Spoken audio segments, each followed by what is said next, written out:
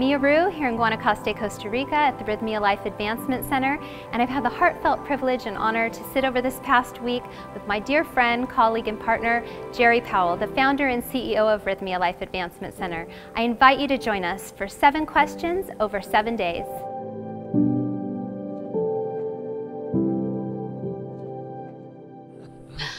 I'm Mia Rue, and I'm here today in Guanacaste, Costa Rica at Rythmia Life Advancement Center with my dear friend and partner, Gerry Powell. I love that. And uh, I uh, have the privilege and opportunity to ask Gerry some heartfelt questions that um, we might not otherwise have the opportunity to hear the answers of, but I wanted to just grab you Uh, and uh, let you know how much I love you and appreciate you. Likewise. every- everything you're doing here. And uh, pull out some wisdom ah, while I have the chance. Let's see if I have any. Okay, so um, I'm going to ask you seven questions, Okay. and we're going to share these uh, answers with our audience over the next week. Fantastic. And seven questions with seven answers for I seven like it. days.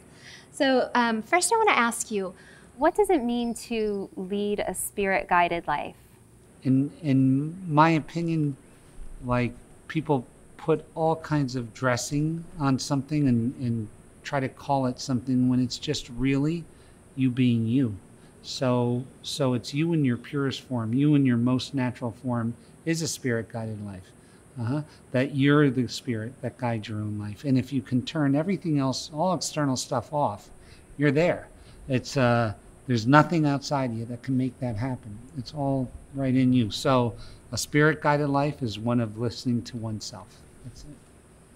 And can you articulate on that? So if a person doesn't really understand what that means. Uh huh. So so all of us spend so much time in our in our path, uh, trying to seek out something outside of ourselves that, like, in organized religion or or or, or teachings or psychology or all kinds of stuff that is that is otherized, you know, that is outside of us, and instead the the being quiet in in in removing everything that you've been trained that you are, removing all that and just getting to the essence of you, that is a spirit guided life.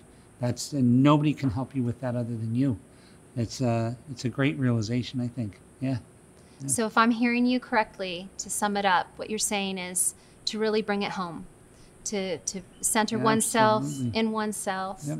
To listen to that inner voice, that inner calling. Yes. And no matter what the world reflects or projects Uh huh. onto us, to really always go back to that one inner truth. And that's it. That's where you want to be, right?